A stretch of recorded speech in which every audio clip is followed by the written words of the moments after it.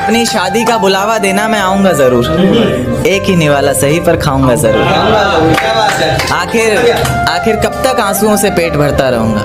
ऐसे कब तक तुझे याद करता रहूँगा? उस दिन सबके सर पर सहरे देखूँगा मैं। पूरी रात रुककर सातों फेरे देखूँगा मैं। वो सात वचन जब लोगी तुम, ईश्वर की कसम जब लोगी तुम, तुम्हारी आँखों में शर्म देखनी है मुझे।